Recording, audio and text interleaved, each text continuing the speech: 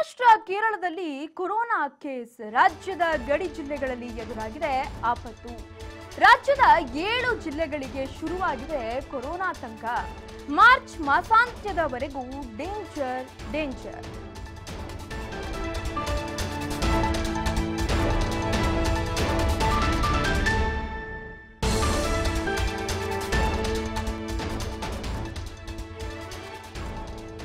ಮಾಡಬೇಕು ಅಂತ ಹೇಳಿದ್ದಾರೆ. ಇದನ್ನ ನೂರಕ್ಕೆ ನೂರು ಅನುಷ್ಠಾನಕ್ಕೆ ತರಬೇಕು ಅಂತಂದ್ರೆ ಆರೋಗ್ಯ ಇಲಾಖೆ ನಮ್ಮ ಜೊತೆಗೆ ಜಿಲ್ಲಾಧಿಕಾರಿಗಳ ನೇತೃತ್ವದಲ್ಲಿ ಮತ್ತು ನಮ್ಮ ಪೊಲೀಸ್ ಅಧಿಕಾರಿಗಳು. ಹಾಗಾಗಿ ಗೃಹ ಇಲಾಖೆ ಮತ್ತು ಕಂದಾಯ ಇಲಾಖೆಯ ಎರಡೂ ಸಚಿವರ ಜೊತೆ, ಉನ್ನತ ಮಟ್ಟದ ಅಧಿಕಾರಿಗಳ ಜೊತೆ ಕೂಡ ಶೀಘ್ರದಲ್ಲಿ ಇವತ್ತು ನಾಳೆಯಲ್ಲೇನೆ ಅವ್ರ ಜೊತೆ ಸಭೆಯನ್ನು ಮಾಡಿ, ಯಾವ ರೀತಿ ಅವ್ರ ಸಹಕಾರವನ್ನು ಪಡ್ಕೊಂಡು ಈ ಜಿಲ್ಲೆಗಳಲ್ಲಿ ಬಹಳ ಗಂಭೀರವಾಗಿ ನಾವು ಮಾರ್ಗಸೂಚಿಯನ್ನು ಅನುಷ್ಠಾನಕ್ಕೆ ತರಲಿಕ್ಕೆ ಸಾಧ್ಯ ಆಗಬೇಕು, ಅದನ್ನ ಮಾಡ್ತೇವೆ. ಕಡಾಖಂಡಿತವಾಗಿ ಯಾವುದೇ ಪ್ರಯಾಣಿಕರು ಯಾವುದೇ ರಾಜ್ಯದ ಅಲ್ಲಿ ಕೇರಳ ಮತ್ತು ಮಹಾರಾಷ್ಟ್ರ ರಾಜ್ಯದ ಜನರು ಒಳಗೆ ಬರುವಾಗ ಆದಷ್ಟು ಅವರಿಗೆ ಆರ್ ಟಿ ಸಿ ಸರ್ಟಿಫಿಕೇಟ್ ಅನ್ನ ಕಡ್ಡಾಯವಾಗಿ ತೆಗೆದುಕೊಳ್ಳುವಂಥದ್ದು, ಅದನ್ನು ಪರೀಕ್ಷೆ ಮಾಡುವಂಥದ್ದು. ಅಂಥವರನ್ನು ಮಾತ್ರ ಒಳಗಡೆ ಬಿಡುವಂಥದ್ದು ಮಾಡಬೇಕು ಅಂತ ಹೇಳಿದ್ದಾರೆ. ಇದನ್ನ ನೂರಕ್ಕೆ ನೂರು ಅನುಷ್ಠಾನಕ್ಕೆ ತರಬೇಕು ಅಂತಂದ್ರೆ ಆರೋಗ್ಯ ಇಲಾಖೆ ನಮ್ಮ ಜೊತೆಗೆ ಜಿಲ್ಲಾಧಿಕಾರಿಗಳ ನೇತೃತ್ವದಲ್ಲಿ ಮತ್ತು ನಮ್ಮ ಪೊಲೀಸ್ ಅಧಿಕಾರಿಗಳು. ಹಾಗಾಗಿ ಗೃಹ ಇಲಾಖೆ ಮತ್ತು ಕಂದಾಯ ಇಲಾಖೆಯ ಎರಡೂ ಸಚಿವರ ಜೊತೆ, ಉನ್ನತ ಮಟ್ಟದ ಅಧಿಕಾರಿಗಳ ಜೊತೆ ಕೂಡ ಶೀಘ್ರದಲ್ಲಿ ಇವತ್ತು ನಾಳೆಯಲ್ಲೇನೆ ಅವರ ಜೊತೆ ಸಭೆಯನ್ನು ಮಾಡಿ ಯಾವ ರೀತಿ ಅವ್ರ ಸಹಕಾರವನ್ನು ಪಡ್ಕೊಂಡು ಈ ಜಿಲ್ಲೆಗಳಲ್ಲಿ ಬಹಳ ಗಂಭೀರವಾಗಿ ನಾವು ಮಾರ್ಗಸೂಚಿಯನ್ನ ಅನುಷ್ಠಾನಕ್ಕೆ ತರಲಿಕ್ಕೆ ಸಾಧ್ಯ ಆಗಬೇಕು, ಅದನ್ನ ಮಾಡ್ತೇವೆ. ಕಡಾಖಂಡಿತವಾಗಿ ಯಾವುದೇ ಪ್ರಯಾಣಿಕರು ಯಾವುದೇ ರಾಜ್ಯದ ಅಲ್ಲಿ ಕೇರಳ ಮತ್ತು ಮಹಾರಾಷ್ಟ್ರ ರಾಜ್ಯದ ಜನರು ಒಳಗೆ ಬರುವಾಗ ಆದಷ್ಟು ಅವರಿಗೆ R T P C R negative certificate ಅನ್ನ ಕಡ್ಡಾಯವಾಗಿ ತೆಗೆದುಕೊಳ್ಳುವಂಥದ್ದು. ಅದನ್ನು ಪರೀಕ್ಷೆ ಮಾಡುವಂಥದ್ದು, ಅಂಥವರನ್ನು ಮಾತ್ರ ಒಳಗಡೆ ಬಿಡುವಂಥದ್ದು ಮಾಡಬೇಕು ಅಂತ ಹೇಳಿದ್ದಾರೆ. ಇದನ್ನ ನೂರಕ್ಕೆ ನೂರು ಅನುಷ್ಠಾನಕ್ಕೆ ತರಬೇಕು ಅಂತಂದ್ರೆ ಆರೋಗ್ಯ ಇಲಾಖೆ ಈ ಬಗ್ಗೆ ಮತ್ತಷ್ಟು ಡೀಟೇಲ್ಸ್ ಅನ್ನು ನಮ್ಮ ಪ್ರತಿನಿಧಿ ಶಿವಕುಮಾರ್ ನೀಡ್ತಾರೆ. ಶಿವಕುಮಾರ್ ಇಲ್ಲಿ ಸಾಕಷ್ಟು ಅಂದ್ರೆ ಏನೀಗ ಮತ್ತೆ ಒಂದು ರೀತಿಯಾದಂಥ ಆತಂಕ ಶುರುವಾಗಿದೆ ಮತ್ತು ಮಹಾರಾಷ್ಟ್ರ, ಕೇರಳದಿಂದ ಓಡಾಡುವಂಥವರ ಸಂಖ್ಯೆ ಕೂಡ ಹೆಚ್ಚಾಗಿರುವಂಥದ್ದನ್ನು ನಾವು ನೋಡಬಹುದಾಗಿದೆ. ಸೊ ಈ ನಿಟ್ಟಿನಲ್ಲಿ ಮುಂದಿನ ದಿನಗಳಲ್ಲಿ ಯಾವ ರೀತಿಯಾದಂಥ ಕ್ರಮಗಳನ್ನು ತೆಗೆದುಕೊಳ್ತಾರೆ? ಸೊ ಏನು ಒಂದು ನಿರ್ಧಾರಗಳಾಗಿದೆ ಅಂತ?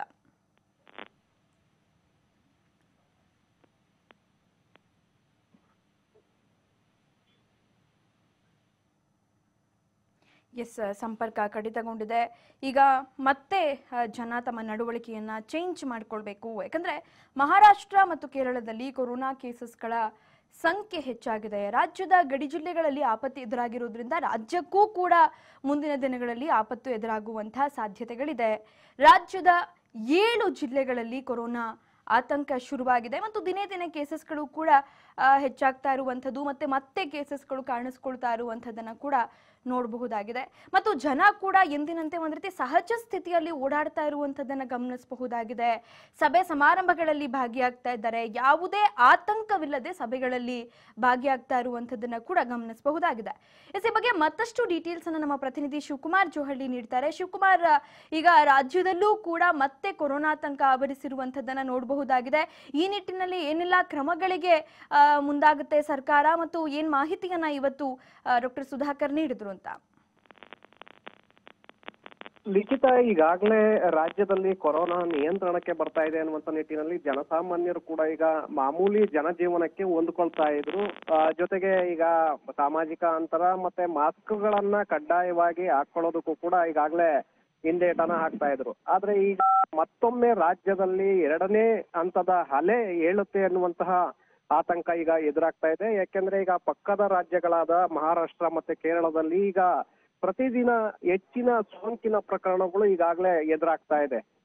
ಯಾಕೆಂದ್ರೆ ಕಳೆದ ಒಂದು ವಾರದ ಹಿಂದೆ ಕೇವಲ ನೂರರ ಆಸುಪಾಸಿನಲ್ಲಿದ್ದಂತಹ ಪ್ರಕರಣಗಳು ಈಗ ಸಾವಿರದ ಗಡಿಯನ್ನ ದಾಟಿವೆ. ಮಹಾರಾಷ್ಟ್ರದಲ್ಲಿ ನಿನ್ನೆ ಒಂದೇ ದಿನ ಆರು ಸಾವಿರ ಪ್ರಕರಣಗಳು ವರದಿಯಾಗಿದ್ರೆ ಕೇರಳದಲ್ಲಿ ನಾಲ್ಕೂವರೆ ಸಾವಿರ ಪ್ರಕರಣಗಳು ವರದಿಯಾಗಿವೆ. ಸೊ ಹೀಗಾಗಿ ಸಾವಿನ ಪ್ರಮಾಣ ಕೂಡ ಈಗ ಹೆಚ್ಚಾಗ್ತಾ ಇದೆ. ಮಹಾರಾಷ್ಟ್ರದಲ್ಲಿ ಒಂದೇ ದಿನ ನಲವತ್ನಾಲ್ಕು ಮಂದಿ ಮೃತಪಟ್ಟಿದ್ದಾರೆ ಕೊರೋನಾ ಸೋಂಕಿನಿಂದಾಗಿ ನಿನ್ನೆ. ಕೇರಳದಲ್ಲೂ ಕೂಡ ಪ್ರತಿದಿನ ಒಂದು ವಾರದಿಂದ ಹದಿನೈದು ಜನ ಈ ಒಂದು ಸೋಂಕಿನಿಂದಾಗಿ ಸಾವನ್ನ ಅಪ್ತಾ ಇದ್ದಾರೆ. ಸೊ ಇದರ ಬಗ್ಗೆ ಆರೋಗ್ಯ ಇಲಾಖೆ ಕೂಡ ಈಗಾಗಲೇ ಆತಂಕಕ್ಕೆ ಒಳಗಾಗಿದೆ. ಇವತ್ತು ಆರೋಗ್ಯ ಸಚಿವ ಸುಧಾಕರ್ ಅವರು ಕೂಡ ಸುದ್ದಿಗೋಷ್ಠಿಯನ್ನ ಮಾಡಿ ಆತಂಕವನ್ನ ಹೊರ ಹಾಕಿದ್ದಾರೆ ಯಾಕೆಂದ್ರೆ ಎರಡೂ ಅಕ್ಕಪಕ್ಕದಲ್ಲಿರುವಂತಹ ರಾಜ್ಯಗಳು ಆಗಿರೋದ್ರಿಂದ ಪ್ರತಿನಿತ್ಯ ಸಾವಿರಾರು ಜನ ಮಹಾರಾಷ್ಟ್ರ ಮತ್ತೆ ಕೇರಳದಿಂದ ರಾಜ್ಯಕ್ಕೆ ಬರ್ತಾ ಇದ್ದಾರೆ, ಇಲ್ಲಿಂದ ಹೋಗ್ತಾ ಇದ್ದಾರೆ. ರಾಜ್ಯದ ಗಡಿ ಭಾಗಗಳಲ್ಲಿರುವಂತಹ ಸುಮಾರು ಹದಿಮೂರು ಜಿಲ್ಲೆಗಳಲ್ಲಿ ಈಗ ನಾವು ಹೆಚ್ಚಿನ ಒಂದು ನಿಗಾ ವಹಿಸ್ಬೇಕಾಗತ್ತೆ. ಯಾಕೆಂದ್ರೆ ಬೆಳಗಾವಿ, ಬಿಜಾಪುರ, ಹಾಗೆ ಗುಲ್ಬರ್ಗ ಜೊತೆಗೆ ಮೈ ಕೇರಳ ಭಾಗದಲ್ಲಿರುವಂತಹ ಮೈಸೂರು, ಕೊಡಗು, ದಕ್ಷಿಣ ಕನ್ನಡ, ಉಡುಪಿ ಹಾಗೆ ಚಾಮರಾಜನಗರ ಈ ಭಾಗಗಳಲ್ಲಿ ಗಡಿಗೆ ಹೊಂದಿಕೊಂಡಿರೋದ್ರಿಂದ ಅಲ್ಲಿನ ಜನ ಪ್ರತಿದಿನ ಸಾವಿರಾರು ಜನ ಬರ್ತಾ ಇದ್ದಾರೆ. ಅವರಿಗೆ R T P C R test ಕಡ್ಡಾಯ ಮಾಡ್ತಾ ಇಲ್ಲ.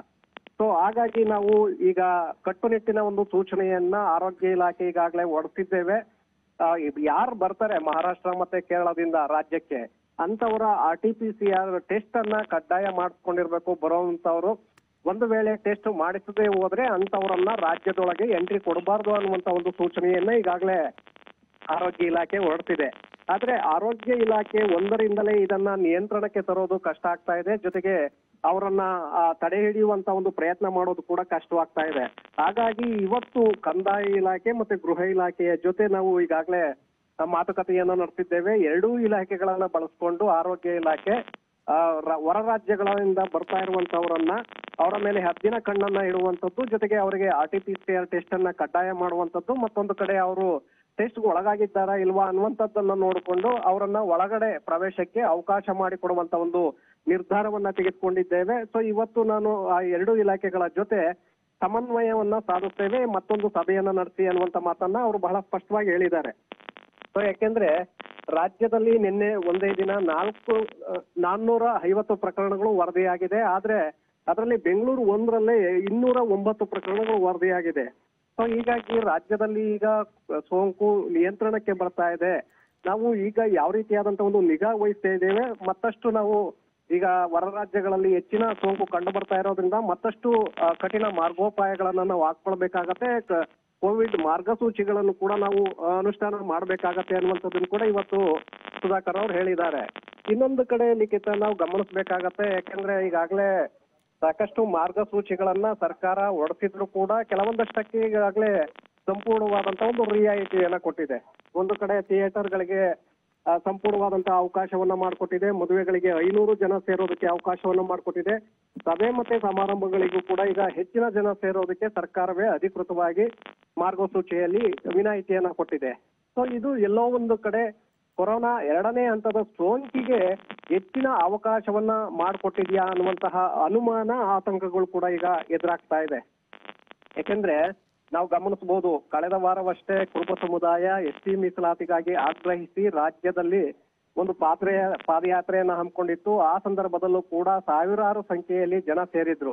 ಮತ್ತೊಂದು ಕಡೆ ಅದೇ ಸಮುದಾಯ ಬೆಂಗಳೂರಿನಲ್ಲಿ ಒಂದು ಬೃಹತ್ ಸಮಾವೇಶವನ್ನ ನಡೆಸಿತು. ಆಗ ಒಂದೂವರೆ ಲಕ್ಷಕ್ಕೂ ಹೆಚ್ಚು ಜನ ಅಲ್ಲಿ ಜಮಾಯಿಸಿದ್ರು ಈಗ ನಾಳೆ ಪಂಚಮಸಾಲಿ ಸಮುದಾಯ ಅರಮನೆ ಮೈದಾನದಲ್ಲಿ ಬೃಹತ್ ಸಮಾವೇಶವನ್ನ ನಡೆಸ್ತಾ ಇದೆ. ಸೊ ಅಲ್ಲೂ ಕೂಡ ಸುಮಾರು ಎರಡೂವರೆ ಮೂರು ಲಕ್ಷ ಜನ ಸೇರುವಂತ ಒಂದು ನಿರೀಕ್ಷೆಯನ್ನು ಕೂಡ ಈಗಾಗಲೇ ಇಟ್ಕೊಳ್ಳಲಾಗಿದೆ.